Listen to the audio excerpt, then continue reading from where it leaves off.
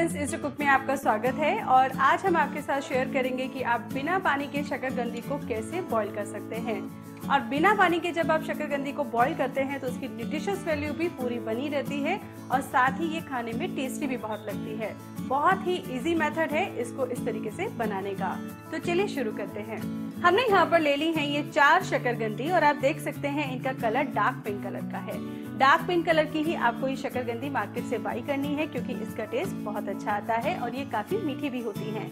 हमने अच्छे से वॉश कर लिया है और वॉश करने के बाद अगर इसमें फिर भी मिट्टी रह जाए तो आप इसमें वेजिटेबल ब्रश से इसको क्लीन कर सकते हैं।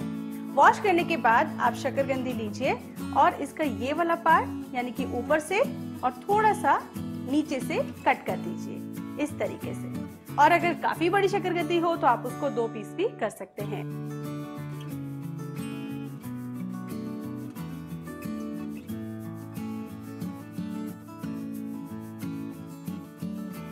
शकरगंदी को बॉईल करने के लिए हमने यहाँ पर हैवी बॉटम तवा रख लिया है। ये डेली रूटीन में जिसपे हम रोटी और पराठा बनाते हैं, ये वही तवा है। गरम करने रख दिया है। गैस की फ्लेम अभी हमारी फुल है और हम अपनी शकरगंदी इसके ऊपर रख देंगे। इस तरीके से ये चारों शकरगंदी हमने रख दी है और अब हम इसके ऊपर एक ऐसा गहरा बाउल रख देंगे। और गैस की फ्लेम को हम बिल्कुल स्लो रखेंगे और लगभग 10 मिनट के लिए हम इसको ऐसे ही रहने देंगे। 10 मिनट हो गए हैं, कवर को हटाकर देख लेंगे। और शकरगंदी को अब हम अलट पलट कर लेंगे।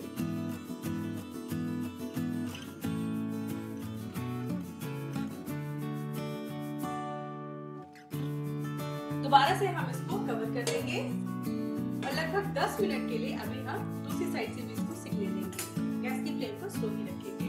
10 मिनट हो गए हैं, अब हम इसको दोबारा से हटा कर देखेंगे। ये देखिए, अब जो हमारी शकरगंदी है, दूसरी साइड से भी हम देखें तो ये थोड़े थोड़े से ब्लैक स्पॉट आ गए हैं और इसमें से बहुत अच्छी खुशबू भी आने लगी है। हम इसको हल्का सा नाइफ से ऐसे कट करके देख लीजिएगा। ये इस तरीके से।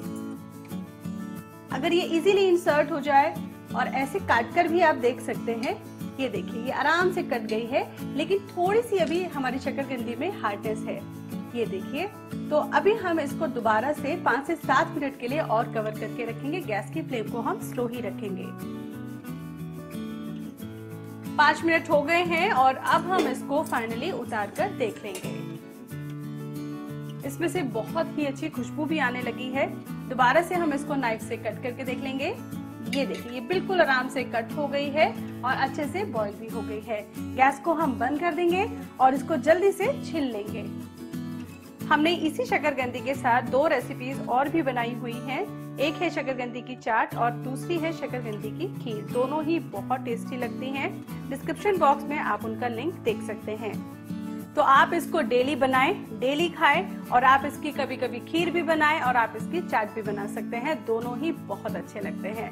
न्यूट्रिशियस वैल्यू भी अगर आप इसको ऐसे बनाते हैं तो इसकी बरकरार रहती है। तो आपने इस वीडियो में देखा कि बिना पानी के भी आप शकरगंदी को बॉईल कर सकते हैं।